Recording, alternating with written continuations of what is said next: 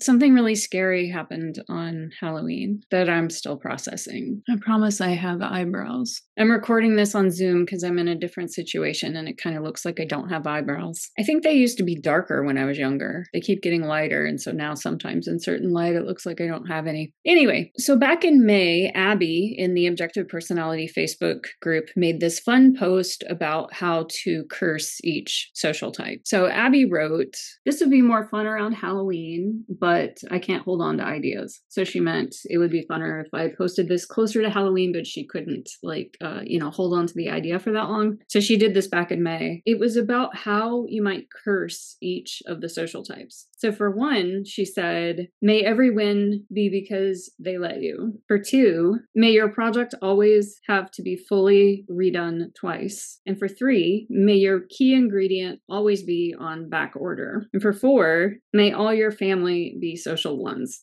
and then you know she opened it up to brainstorm like what would be fun and clever ways to curse each social type. So it's halloween about a week ago last thursday. My anxiety was already kind of high because my partner was going out of town in a couple days and he just hadn't been out of town in a long time. And i have like just a lot of observer fears about feeling like if he leaves i might never see him again. He might never come back because he could be in an accident or like a natural disaster disaster could separate us where he wouldn't be able to come home or all the things that could go wrong like the pipes break and the house floods when he's gone. The sink actually did start leaking and i fixed it because i'm not useless so I did actually repair the sink. So that was good. Anyway, my anxiety was already kind of heightened.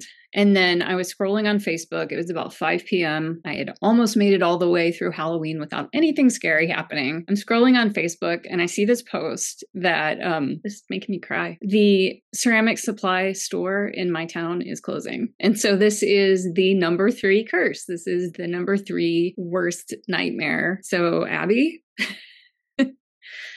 this is all your fault. No, not really. Um, it's just a coincidence. But I just thought that was such a crazy synchronicity. And I remembered her post, but I didn't remember the part about referencing Halloween. I just remembered that it was a post about cursing each social type and that the curse that she designated for social type three was happening. My worst nightmare was happening. And then I went back and read the post and she was referencing Halloween. So I was just like, oh my God, what a crazy coincidence that this is happening on Halloween Halloween. And I'm still processing, just is bringing up a lot for me related to social three and specializing in my art in ceramics, and then also some play last fear of chaos, or maybe it's demon SI fear of chaos that this is all bringing up. So it's bringing up all of this pathways tension, observer tension about pathways related to my ceramic specialty. And I already have a lot of this even without the store closing but this just sort of amplified it. And I'm going to try to talk about this, but I'm so confused and unclear. And there's such an enormous tension between being OE and a social type three. I'm just kind of like a mess in my specialty. I have also been a massage therapist for 20 years. And in that realm, I sort of have it all dialed in. I'm not successful in terms of being financially consistent, but I don't really know a whole lot of massage therapists who are. That's just sort of how it is. But there is a lot of consistency in terms of my marketing strategy and my systems. My workflow and systems are very tight as related to massage. But for the art, it just isn't there's a lot of tension and conflict there. And having the art supply store closed is a huge, huge, significant barrier. Ceramics is very expensive. You almost need to make a profit in order to keep doing it, or I do. If I was independently wealthy, I would just do ceramics. I wouldn't have to worry about making money in order to buy more supplies. But that's sort of the situation that I'm in. It's hard for me to even talk about this because I'm so confused and unclear about all of it. There's a lot going on. First of all, monetizing my art has been pretty awful for me. I really like for it to be a hobby because it's just too much pressure. If I won the lottery and I was independently wealthy, the artist side of me would just make the art, just be alone in my workshop with the art, making art for art's sake. And I would hire a marketer and a product photographer to pimp my art for me. There's all this stuff related to my art that I don't want to do. I just don't enjoy product photography. I don't enjoy listing things on Etsy. I don't enjoy keeping up with the social media and all the posts to market the art and make sure that it sells. I would love it if someone else would do that for me. The profit margins are also extremely difficult. One of the things that's really frustrating for me is when I post on Facebook ceramic art projects sometimes, but also with sewing projects when I make a dress. This is just a hobby for me. Mm-hmm. Sewing is just a hobby that I do for myself. I'll make a sewing project, post it on Facebook, and everyone is like, oh, that's amazing. You could sell that. You should sell that. And they don't know all of the ins and outs of how challenging the profit margin issues are with sewing, with fabric, with marketing art in general. Like, in order to do something like that successfully, the product line has to be cohesive and repeatable repeatable, especially on Etsy, the platform that I'm using, because you want the algorithm to tune into a specific product, like, say, this earring, um, blue ceramic zero gauge flower earring. So you make a sale of this earring, it triggers the Etsy algorithm and directs more people to this earring. So you have to have more. You have to have a constant supply. And if you run out, then you fall in the algorithm. So you have to be really organized. You you want to have at least some products that are popular and repeatable and you don't run out and they're all identical because if they're not identical then, you know, Sally buys these earrings and then she comes back and she says, "I love these earrings, uh, so I bought another pair for my friend Jane who will also love them." But the ones that Jane got, they're not exactly the same. Um handmade art is there are variations, but with something like Etsy, they have to be at least similar enough. I can't even talk about this. like there is this OI part of me, this um, masculine SI OI part of me that wants to just repeatedly make the same thing over and over again. But then I'll see a little improvement. I'll make it a little bit better. And then I will literally throw away the old stuff and start making the new stuff. I'm crazy. It's like this weird tension between OI and OE, wanting to do the same thing over and over again. And that feels really relaxing. But then I also want to try all these variations and iterations and I get distracted, shiny idea syndrome, and I jump. And then in terms of the marketing and selling the art, I cannot stick to a strategy. There's a whole bunch of stuff that I don't want to do in terms of marketing and product photography. I don't want to be responsible for that. You know, in typical three fashion, I just want to do the specialty, keep improving, but not worry about all the other stuff. And then ultimately, monetizing the art just sort of like kills it for me. I really would prefer to just be independent wealthy and just do whatever I want, experiment, buy a bunch of different supplies and make stuff, and then just leave it up to a marketing team to pimp that stuff out. So, back to the ceramic supply store closing, it feels devastating to me because I can't just pop over there and get what I want. So, I'm still processing and trying to decide what is my next step going to be. My initial reaction was, okay, that's it. That's the end of ceramics. There's no ceramic store. So, I'll never do ceramics again. It's over you know, just like typical observer freak out fashion, that's the end of that thing. It cannot exist anymore because there's this observer dilemma in the way. But then I try to be calm about it and think like, okay, what are the possible pathways? How can I proceed forward? And then I see a whole bunch of pathways and I feel kind of paralyzed. But I'm also doing uh, some double observing. There is actually a ceramic supply store up in Portland. So that's like over an hour away in a really huge, chaotic city that I'm not familiar with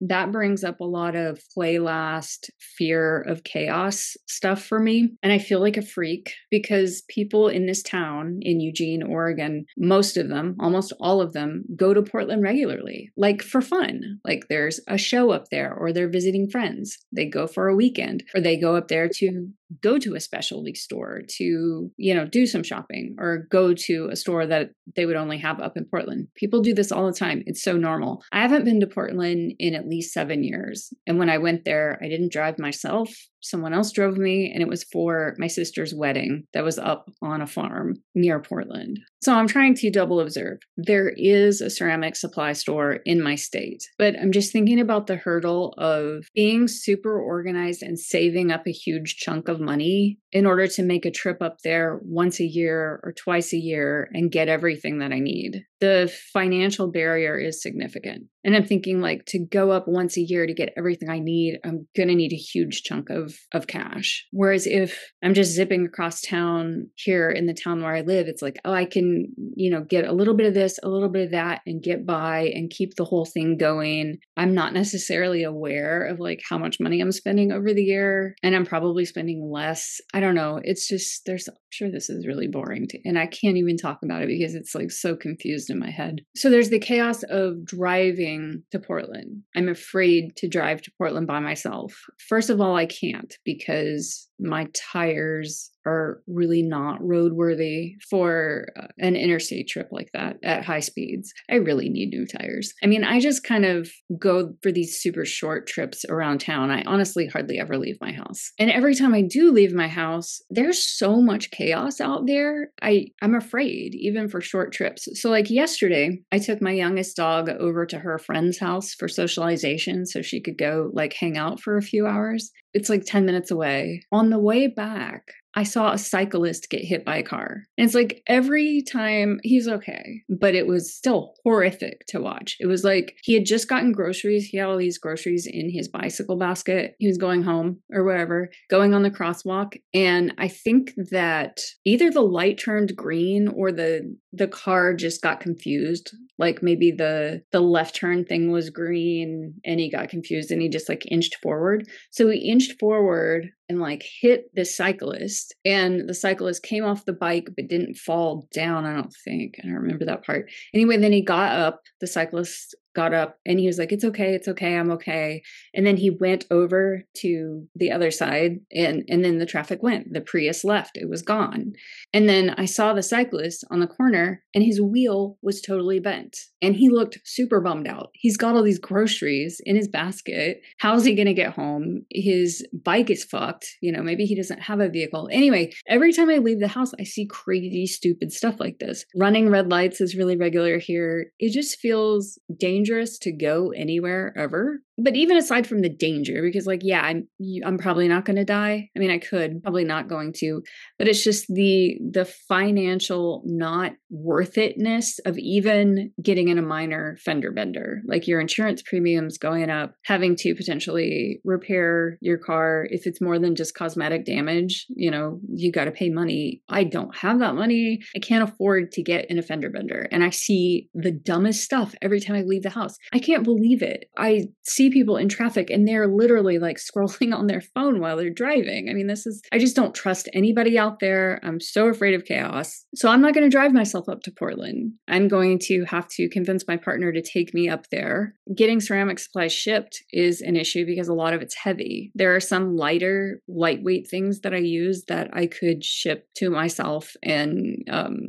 it would still cost shipping, but it wouldn't be like crazy expensive. But in terms of like shipping heavier things, like a big bag of plaster, if you're buying wet clay, when I used to live in Eastern Oregon, I would drive to Portland seven hours or six hours, and I would buy half a ton of clay in and put it in my truck and drive it home. It's like I can't do that. This was when I was young and stupid and I had money and I spent all my money on craft supplies. I can't afford a half a ton of clay. And just think about like the gas that you would use when your truck is loaded down with half a ton of clay. Well, now I buy powder clay, so it's not. Anyway, yeah, that's techie specialty stuff. Anyway, just like a, a, bag of powdered clay and I mix it myself. But it's still like 25 or 50 pounds. So shipping that to my house is just not, just doesn't seem like an option. So I'd have to convince my partner to drive me up to Portland once or twice a year. I'd have to be super organized. I'd have to have a whole bunch of cash in hand to put in a large order in order to keep doing this hobby that I do. I have an Etsy store.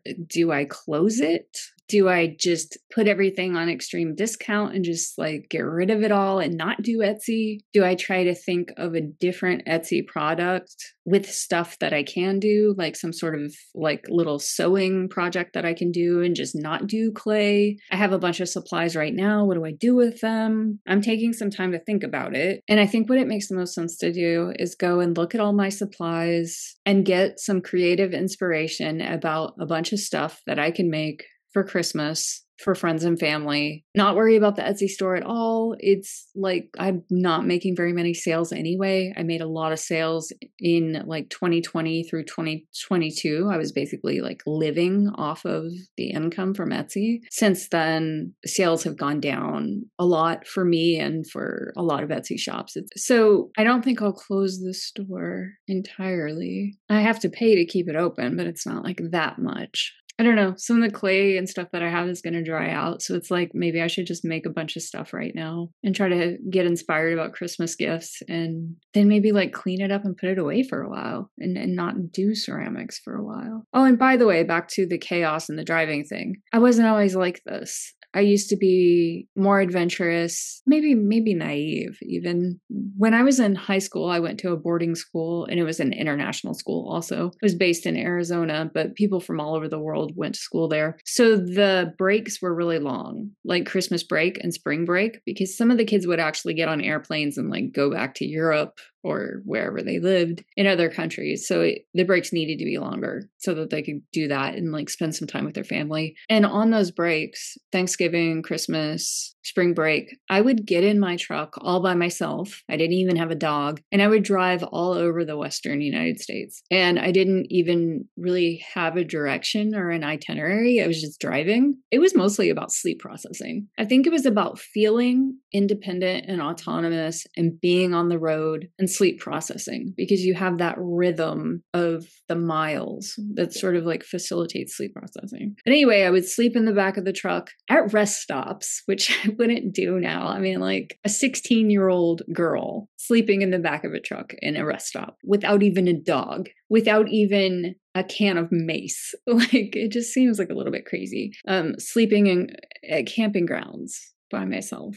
I don't know, it just seems kind of sketchy. But back then, I was a little bit afraid of the road, but just not like I am now. I think it's just like being so poor and seeing bad things happen and just the understanding that a fender bender could set me back so far or like breaking my arm would be the end of my massage therapy career because I've already done it 20 years. It's like how many months is it going to take to recover? If I break my arm on it, I might as well just get a different job and um I don't know. Anyway, I'm not making any sense. My main point is I'm horrified and I think the coincidence about Abby's uh, post was just crazy that that all happened on Halloween.